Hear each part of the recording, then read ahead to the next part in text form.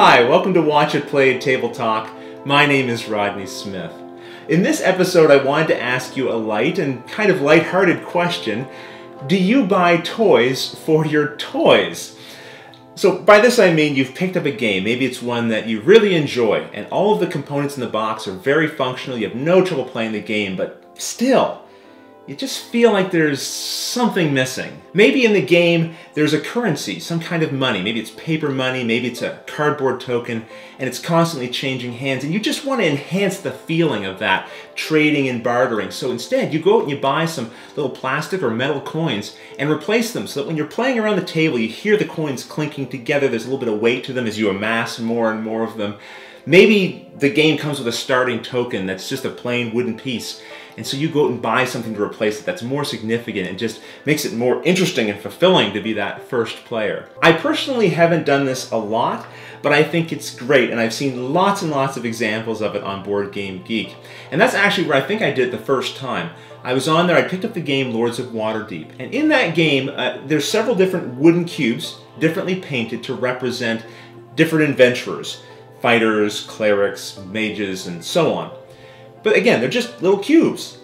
Someone, Danny Perello, had the great idea of, instead of using those cubes, he laser cut these tiny little wooden figures, called them D&Deeples, which was brilliant in and of itself, and then he sold them online. People could pick them up, and so they could replace those cubes with the little figures. I have a few of them here. Let me just uh, put them out for you to see. Not only were the pieces cut to bring to life the characters that they represented, but they were also basically the same size as the original cubes. So they remained very functional. They took up the same amount of space on the game board, and when you went to put them away, they fit perfectly into the game box. So these were very popular, and it just brought to mind to me how much people enjoy this kind of thing and are willing to pay money for it, especially if it's a game they really enjoy. Now, you don't always have to go out and buy somebody else's thing. You can sometimes do your own thing. And I did that uh, with this. This is a, a, dice box that we use here on the series. You might have seen it if you watched some of our previous playthroughs. I find when I'm rolling dice on the table, they often go all over the place. Off the table, they knock pieces over, they interrupt gameplay. And especially for the series, I didn't want that happening. So I needed a solution, and I do get asked uh, from time to time, you know, where can I buy a dice box like that? So it's actually not a dice box. I was going through a discount store and found uh, it. It was a picture frame.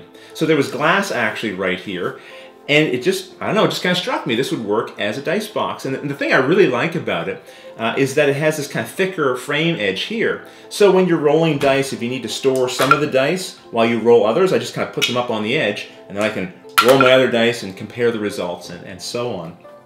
I then put little uh, felt feet on the bottom so I could put it on my table and not worry about it scraping things up. And then the bottom put a little bit of cloth. So if you're looking for a dice box, keep an eye out for some uh, interesting and clever dice frames. You might be able to find something that's that's unique to you.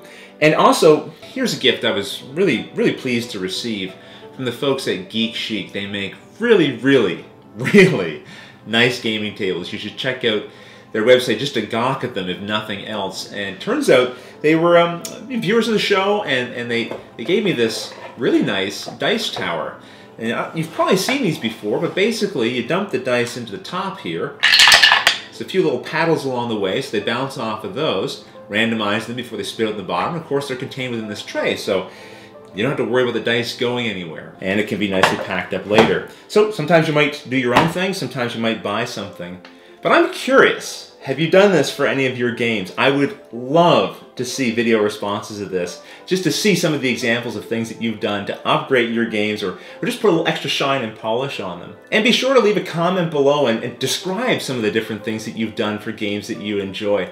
In the next episode, I'll come back and I'll handpick some of these and talk about them a little further. You may have done something no one else has thought about before and might be a real hit with other gamers who enjoy the same games as you. So I, I think this would be a neat thing to talk about. Also, maybe you're the kind of person you just think all that stuff is nonsense. I want to hear about that too. Are you one of those people who like, listen, I want to play with the original components and bringing in other things just feels cheap, kind of corny.